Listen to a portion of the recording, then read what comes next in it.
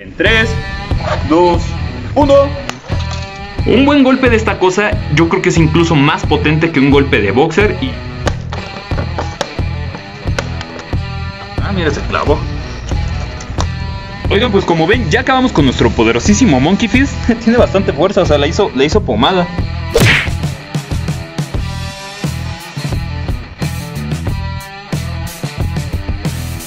Hola, yo soy Miguel de Armas MGS y el día de hoy hablaremos sobre el Monkey Fist, esta pequeña maravilla. Ok, en primer lugar, ¿qué es un Monkey Fist? Eh, yo creo que muchos que han hecho eh, campismo, o sea, en Boy Scouts, o la gente que le gusta la defensa personal, pues estará perfectamente enterado de qué es esto, pero si no, te comento. Eh, el hilo que se utiliza para, para fabricar este artículo se llama paracord. Entonces, este ofrece una resistencia impresionante, además de tener múltiples usos. De hecho, están las pulseras MIS y las pulseras de paracord, que bueno, tienen una infinidad de usos. Eh, una vez dicho esto, utilizamos y se hace un nudo que se llama puño de mono. El puño de mono envuelve una canica de metal, de acero o un imán para que este tenga mayor peso. Y tú me estarás preguntando, oye Miguel, ¿y esto pues qué me importa, no? O sea, yo quiero defenderme, ¿para qué me sirve pues tu cuerdita con, con la bolita? Y pues es muy fácil, es un arma contundente que tal vez a primera vista, y me incluyo, ¿eh? eh como que no tenemos altas expectativas de este producto, eh, lo habíamos estado vendiendo y pues sí, o sea, si te pegas tú y dices, ah, como que sí me duele,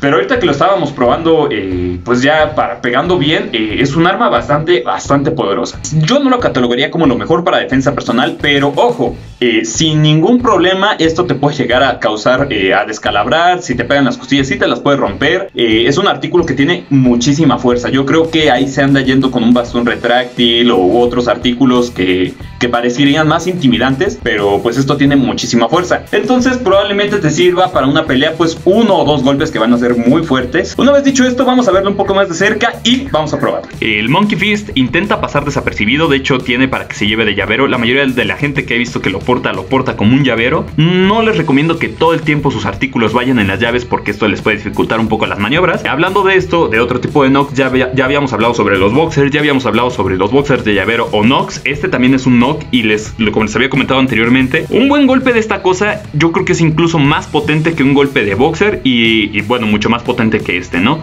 Causan diferentes daños, eso es innegable, ¿no? La cuestión por la que el Monkey Fist se hace con Paracord y no con otros listones es porque el Paracord puede resistir hasta 80 kilos de peso. Una vez dicho esto, no me queda más que agregar, más que vamos a probarlo. Ok, primero que nada vamos a probar este, este hermoso artículo. Aquí tenemos como siempre nuestro confiable tabique, eh, este es de una pulgada.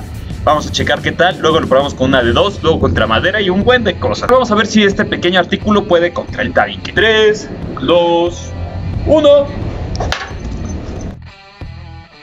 Ah, sin problema, señores. No le pasa nada, evidentemente, pues esto tiene paracord y pues, no le afecta. Si acaso se te ensucia, pero pues vaya, no, no tiene repercusiones, no se te doblan. ¡Cielos, qué macizo! Rompimos el tabique anterior sin problemas. Vamos a probar algo que es estúpidamente grueso eh, para ver, pues, qué tanto daño le puede hacer. Siendo sinceros, no creo que lo rompa ni de, ni de broma, pero vamos a ver si le hace agujeritos o qué, qué tiene, ¿no? 3, 1. Ok, ¿saben qué? Creo que se cuartió. Sí, sí se rompió. Bueno, ustedes no lo alcanzaron a apreciar, señores, pero sí necesité tres golpes. Y, sí, o sea, sí, luego, luego se vio cómo se empezó a cuartear esta cosa y se, hizo, se hizo pomada. Algo que tengo que decir y que no me gustó mucho es que evidentemente como esto eh, pega, pues la energía se te regresa y te pega a ti. No te pega que te duela, ¿no? Y ni que te cause nada, pero pues sí se te regresa un poco el impacto, ¿no? Es lo que les digo de inconvenientes que no me gustarían en una pelea. Pero bueno, vamos a probarlo con otras cosas. Ok, vamos a probar este poderosísimo eh, producto contra madera. Vamos a ver. Es una madera delgada, tengo que decirlo, pero pues bueno, es para, para checar qué tanto resiste. 3, 2, 1.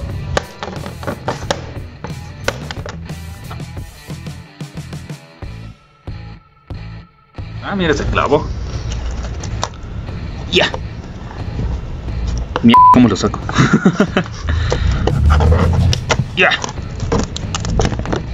Unos momentos después. No, ¿saben qué? Vamos a dejar que esto caiga. Vaya, qué listo eres. ok, prueba número 2. Vamos a ver si se vuelve a clavar o no. 3, 2, 1. De nuevo se clavó. Que ¿saben qué? Esto, esto hace... Esto sí hace daño, ¿saben? ¡Wow! No puedo creerlo. No me lo esperaba. ¡Qué impactante noticia! Miren, después de varios golpes, eh, pues sí, se empezó a, a, deformar. No porque se saliera, sino de que yo lo estoy jalando, pues empezó a deshilachar. Aquí está la canica, de hecho es imantizada. Es lo que provoca el golpe. Y bueno, esto es paracord, evidentemente. Entonces, pues vamos a ver si podemos coserla un poquito y seguir con el video. Ok, eh, la bolita ya está un poco floja después de tantos golpes. Este, entonces vamos a probarla con la botella a ver si no sale volando y a ver si Philip no muere. Mi momento ha llegado. Entonces vamos a probarla. Igual es ver si no se mueve la botella, ¿no? Eso, es, eso de eso depende mucho. Entonces vamos a ver en 3, 2, 1. ¡Wow! Sin problemas. Fíjense que me había costado más romper una botella con otros artículos como el bastón retráctil o el boxer. Pero sin problemas, el Monkey Fist eh, tiene, bastante fuerza, o sea, la hizo, la hizo pomada. Ok, vamos a probar el poderosísimo y ya casi deshecho Monkey Fist contra una lata de aluminio. Estamos en 3, 2, 1.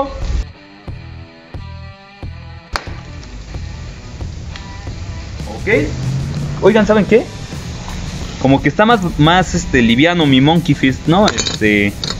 Como que le hace falta algo. Oigan, pues como ven, ya acabamos con nuestro poderosísimo Monkey Fist. Eh, no es que esté roto, solamente se aflojó y bueno, eh, se salió la bolita de aquí adentro. Y he aquí la poderosísima bolita. Es una bolita, es, es un imán. Eh, como pueden observar, pues está imantizada. Tiene bastante resistencia. Normalmente un imán pues se fractura. Igual quiero suponer que lo protege mucho el paracord.